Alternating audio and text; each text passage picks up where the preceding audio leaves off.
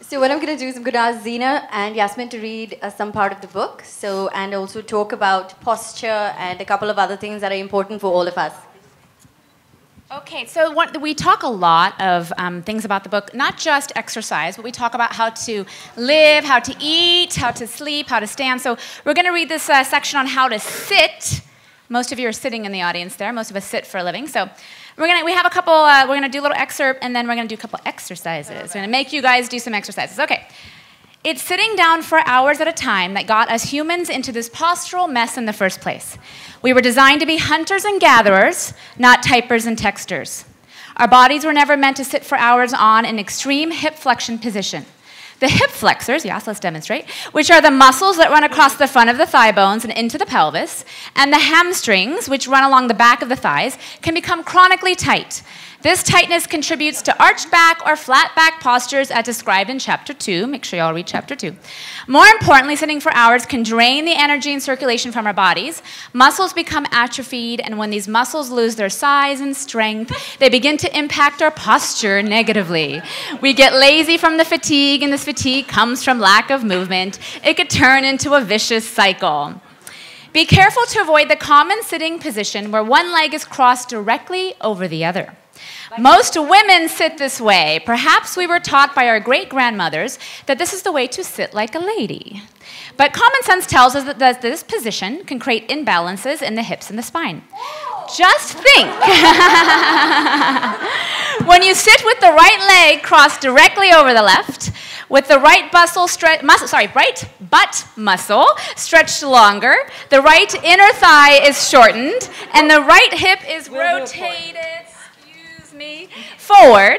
If you do this over and over again for hours on end, your body will take this position and create muscle memory. The repetition of this common habit and the resulting muscle memory can be the cause of the pain due to muscular imbalances. Lastly, and most importantly, you must be able to sit up straight with a straight upper back and your eyes must be looking forward. A majority of issues related to kyphosis or hunchback posture, which we talk a lot about in the book, they occur as a result of sitting for hours staring at your phone or computer and allowing the shoulders to round forward. We would like to recommend a few exercises that can be done at your desk or computer station to assist in combating this hunchback posture. Setting a simple alarm on your phone or computer can remind you to do these exercises a few times a day. So we're going to start with shoulder rolls. Sit tall with your sit bones firmly planted in your chair. Come on, everyone. Come on, Let's see you everybody, do this. everybody, even if you're standing. Yes. Sit up tall. Look ahead. Yes. follow. Lift your shoulders up to your ears and then roll them back. I can't see you guys doing it. Yes, I'm not saying anything. Imagine guys. there is a pencil between your shoulder blades and squeeze them together and squeeze the pencil. Do these shoulder rolls and scapula squeezes five times, three times a day. Towel squeeze. Yes, you need a band for this. Stand up with a towel or TheraBand in your hands behind your back and your hands as close to each other as possible. Keep the arms straight and your palms facing backwards. Keeping your shoulders back and your elbows straight, pull the towel band apart for two seconds and hold, and then release. Repeat these five times, three times a day. Shoulder openers.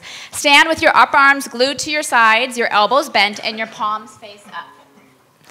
Hold onto something heavy in each hand, like maybe two water bottles. Keeping your upper arms by your sides, rotate the arms open and apart while squeezing your shoulder blades together. And these shoulder blade squeezes should be done three times a day.